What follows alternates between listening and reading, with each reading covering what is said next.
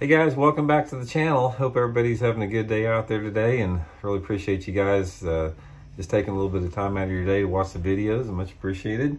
And today I got a real good tip for you. I'm going to share with you guys a modification that I do to my drop shot weights that not only will help you get more bites, it will help you not lose as many sinkers.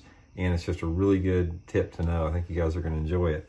Um, just real quick, I just want to remind everybody, if you hadn't had a chance, go over at fishthemoment.com, check out our lake map breakdowns. Johnny and I have got fall lake map breakdowns all across the country. Whether you're fishing offshore, shallow, we got a little bit of everything. We got map breakdowns for most all of the major lakes across the country, all four seasons, not just fall, but all four seasons.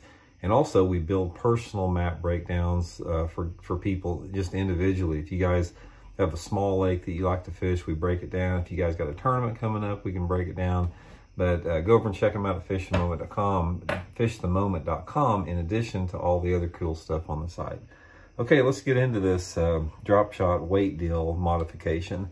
And first of all, let's talk a little bit about the drop shots. Um, there's two different styles, basically. You have this the cylinder style like this, and then you have the, the round one like that. Those are the two variations that you have. These are lead.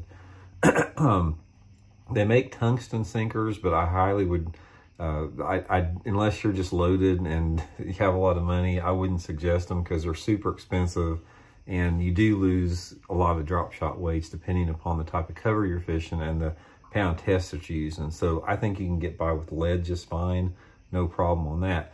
One thing that you're gonna find, um, that if you're using the cylinder type sinkers like this, this is what I like to use more if I'm vertical fishing for suspended fish, where I don't have a lot of snaggy stuff, um, because these will get hung up in rocks pretty easy. But the ball sinkers will come through the rocks a little bit easier. So if I'm fishing on the bottom, a lot of times I'll use the ball sinker. But anyway, the modification I want to show you guys today is based upon not losing these things because it doesn't matter if you're using a ball or a cylinder uh, type sinker. If you're fishing around an area that has a lot of rocks, whether it be riprap, you know, chunk rock banks, that type of stuff, at times you're going to get these things caught up in those rocks and you're going to break them off. And one of the big reasons that you break off a lot of drop shot weights is you can see there, if you I'll hold it real close there, put my hand back against it there you can see how um, tight that is as far as the, the, the area that you put your line in there. And what happens is you put your line through that larger spot and then you push it up in there and crimp it in the tight together uh, areas right there. And what happens is when you when you push your line up into that tight area there, that will damage your line because it crimps it. A lot of people just tie a knot at the end of their line. They put it through there cinch it up tight in that tight area like there.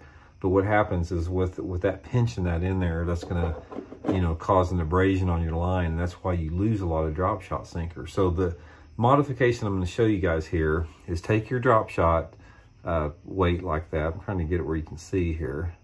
And then take a, you know, a small pair of scissors or something and simply go in, or a knife, and go in and just start opening this thing up over the top there. And I'm going to open it up pretty wide. So I'm going to show you the difference here in the two. And uh, goes over the modification a little bit here. Okay, here again is the one stock out of the out of the package like that. See how tight it is? Here's the one that I just modified. Let me get it up there. See, I got it opened up like that. trying to hold it back where you can see it. Basically just took it and opened up this whole area right here um, compared to that like that, as you can see. Now what happens is now since I've got this thing opened up like that, all I do is just tie an overhand knot, like a just, you know, tie, you know, two half hitches across the top of there. And since it's opened up like that, it won't, uh, there's nothing there to pinch and abrade your line makes a big difference. You know, I ever since I started doing that, I've lost half the sinkers that I used to lose on there simply because uh, you just, you know, you, are not fraying your line. Your, your line is a lot more free to move around like that. But anyway, guys, that's just a quick tip. Um, that, you know, just something to save you some sinkers and uh, save you a little bit of frustration to having to tie a lot of times on there. So hope you guys enjoyed it, and we'll be back soon with another one. See you.